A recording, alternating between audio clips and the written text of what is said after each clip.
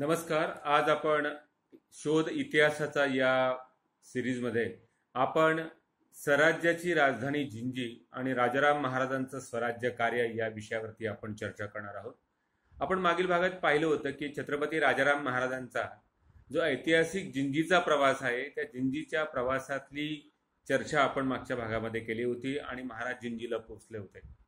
आपण एक सारांश रूपाने असं पाहता येईल आपल्याला की छत्रपती संभाजी महाराजांच्या मृत्यूनंतर रायगडाचा जो पाडाव होतो आणि रायगडाचा पाडाव झाल्यानंतर ज्या पद्धतीने महाराष्ट्रामध्ये राजकारण सुरू होतं आणि महाराष्ट्रामध्ये औरंगजेबाने जे वातावरण तयार केलेलं असतं आणि त्या वातावरणामुळे संपूर्ण मराठ्यांमध्ये प्रचंड अस्वस्थता होती असते. आणि त्यातूनच मग अनेक किल्लेदार आणि अनेक वतनदार जहागीरदार हे मोगलांकडे जाऊन आपली स्वामीनाष्ट स्वामीनिष्ठा व्यक्त करण्यासाठी जणू काही स्पर्धा लागलेली असते.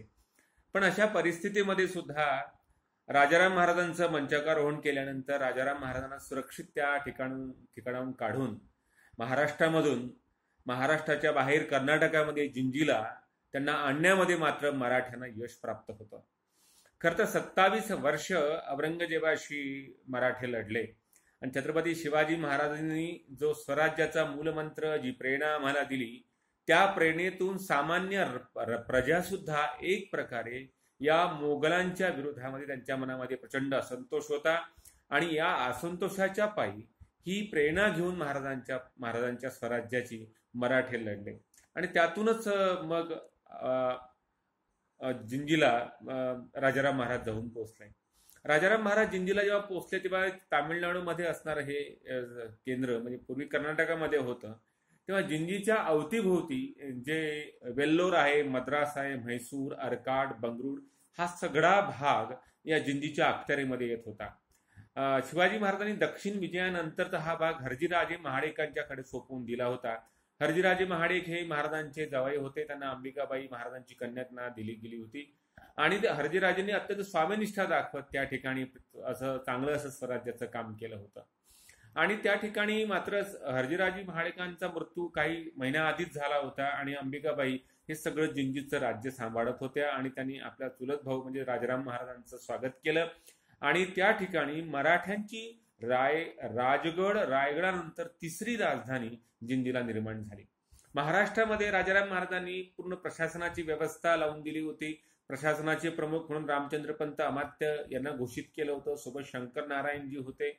असे अनेक लोक होते की ज्यांनी प्रशासन सांभाळलं आणि रणमैदानावर मात्र औरंगजेबाशी म्हणजे मोगलांशी पातशाशी लढण्यासाठी मोठी टीम संताजी धनाजी रुपाजी भोसले हिंदुराव घोरपडे बाजी कदम परसोजी भोसले राणूजी शिंदे असे अनेक कितीतरी नावं घेता येतील की हे रणमैदानावर मराठ्यांचं स्वराज्याचं स्पिरिट जागृत करून मोगलांशी ते गनिमी काव्याच्या पद्धतीनं लढत होते.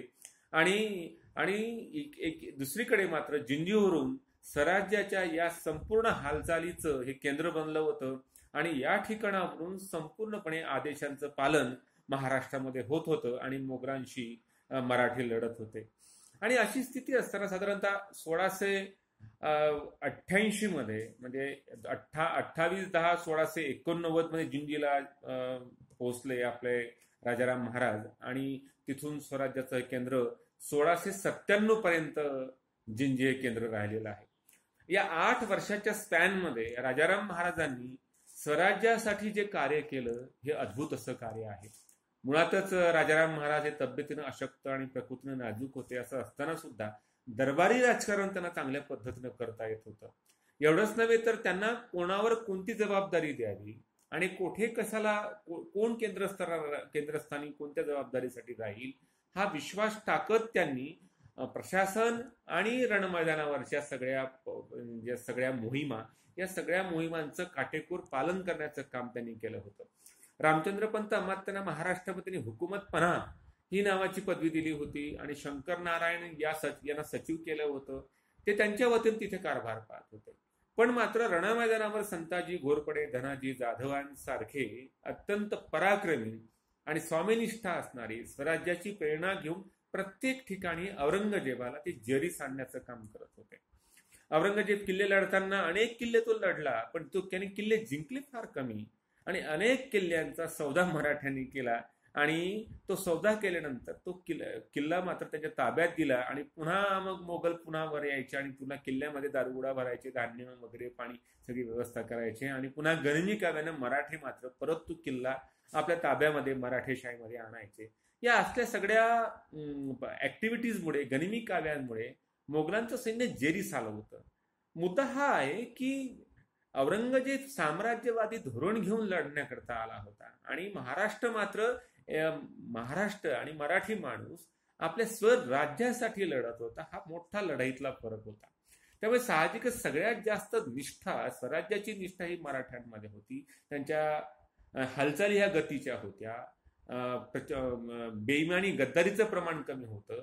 पण सर्वात महत्त्वाचा बिंदू जर कोणता असेल तर छत्रपती शिवाजी राजांनी घालून दिलेला हे रयतेचं राज्य आम्ही सांभाळलं पाहिजे ही भूमिका होती. आणि त्या सगळ्या गोष्टीला पूरक असं पोषक असं कार्य राजाराम महाराजांनी जिंजीच्या किल्ल्यावरून या स्वराज्याच्या लढ्यासाठी केलेला आहे. म्हणजे सोळाशे सोळाशे एकोणनव्वद ते सोळाशे अठ्ठ्याण्णव साधारणतः एक सात आठ वर्ष राजाराम महाराजांनी जिंजी चोहरून या सगळ्या कारभाराचं काम केलेलं आहे. हा जिंजीचा जो किल्ला आहे हा सुद्धा अभेद्य आहे. तीन किल्ले कृष्णगिरी चंद्रगिरी राजगिरी या तीन किल्ल्यांचं हे सेंटर पॉइंट हा.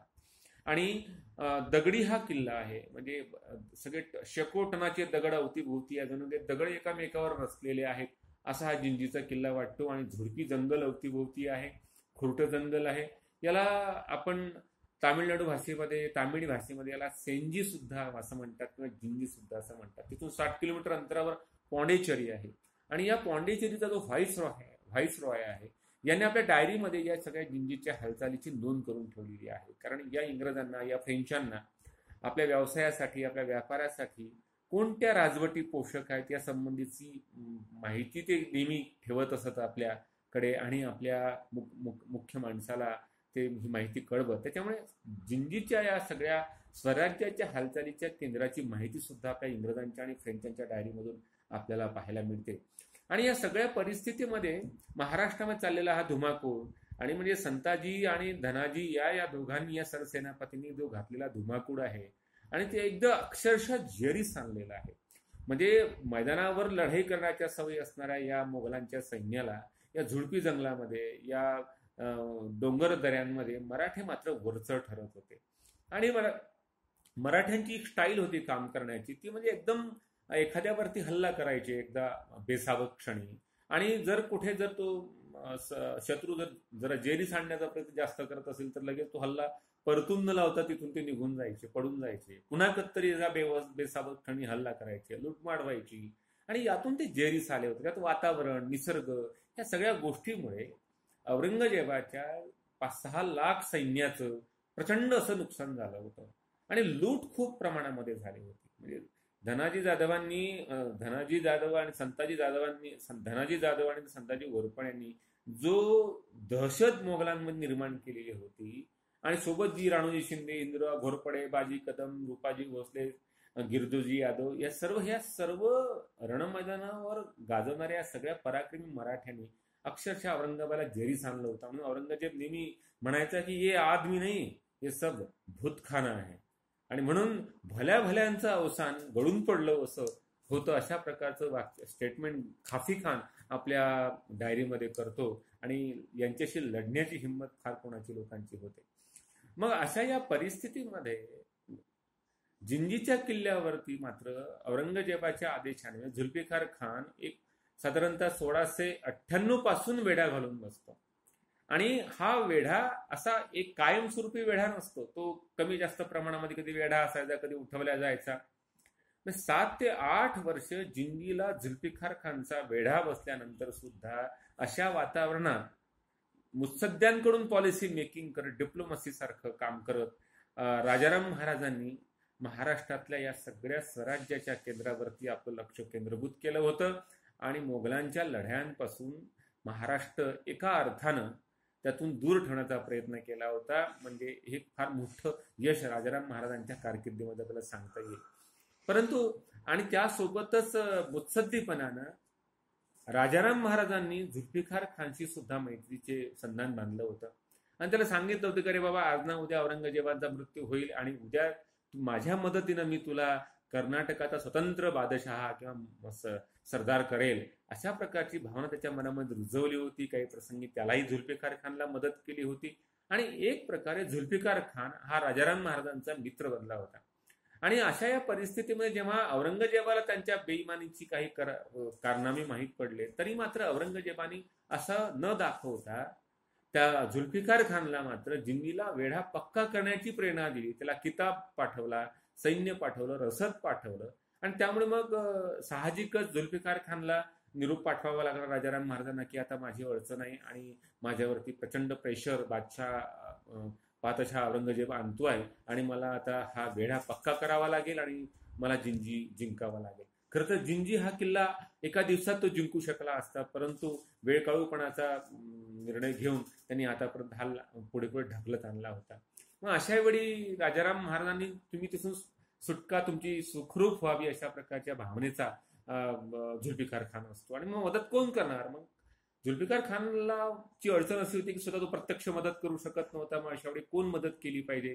मग अशा वेळी गणोजी शिर्के महाराजांचे जे जावाई होते म्हणजे ते त्या झुल्फिकार खानच्या बाजूला लढत होते. मग अशा वेळी त्यांचं भावना जागृत करण्याचं काम खंडोबल्लाळांनी त्यांच्याकडे पाठवलं. खंडोबल्लाळांना राजाराम महाराजांनी त्यांची भावनिकता भावना विवश त्यांना केलं आणि स्वराज्याच्या या सगळ्या लढाईमध्ये तुमची मदत पाहिजे. झुल्फिकार खानचाही आशीर्वाद या सगळ्या गोष्टीला आहे. अशा प्रकारचं संवाद केल्यानंतर गणोजी शिर्के तयार झाले. आणि अत्यंत महत्त्वाचे विश्वासू राजाराम महाराजांचे गिरजूजी यादव या दोघांनी एकत्र येऊन खंडोबल्ला या तिघांनी राजाराम महाराजांच्या सुटकेचा प्लॅन तयार केला आणि एकोणतीस डिसेंबर सोळाशे सत्त्याण्णवमध्ये राजाराम महाराजांची जिंजीच्या किल्ल्यातून जुल्फेखार खानच्या या वेढ्यातून सुखरूप सुटका केली आणि राजाराम महाराजांची जिंजीहून महाराज महाराष्ट्रामध्ये थेट पन्हाळ्याकडे परतले. एवढंच नव्हे तर राजाराम महाराजांचा सगळा कबिला त्यात विशेषतः सगुणाबाई असतील त्याच्यामध्ये ताराबाई अस ताराबाई असतील आणि काही लोक. अशा कुटुंबाचा सुद्धा मागील नंतर महिनाभराच्या अंतराने सुद्धा सुखरूप सुटका मात्र केल्या गेली. आणि काही कबीला राजाराम महाराजांचा मात्र झुल्फिकार खानला पकडावा लागला त्याला राजकैदी करावं लागलं. तशा प्रकारचं वातावरण औरंगजेबासमोर करावं लागलं आणि जिंजीचा किल्ला पडला तो त्याचा पाडाव झाला. झुल्फिकार खाने तो जिंकला आणि औरंगजेबाला तशा प्रकारची माहिती देण्यात आली आणि त्याने खुश होऊन झुल्फिकार खानला सन्मानित केलं त्याला किताब दिला आणि अशा पद्धतीने राजाराम महाराज महाराष्ट्रामध्ये सोळाशे सत्त्याण्णवमध्ये आठ साडेआठ वर्षाच्या जिंजीच्या प्रवा जिंजीच्या निवासानंतर महाराष्ट्रात पोहोचतात. महाराष्ट्रात पोचल्यानंतर सोळाशे सत्त्याण्णव ते सतराशे पर्यंतच्या मृत्यूपर्यंत तीन वर्षामध्ये ते महाराष्ट्रामध्ये कोणतं स्वराज्य कार्य करतात आणि पुढे त्यांच्या मृत्यूनंतर ताराबाई साहेबांचा कशा प्रकारे स्वराज्याच्या साठी कसा लढा आहे याबद्दलची चर्चा आपण पुढील भागामध्ये करूया. आज थांबूया. जय महाराष्ट्र.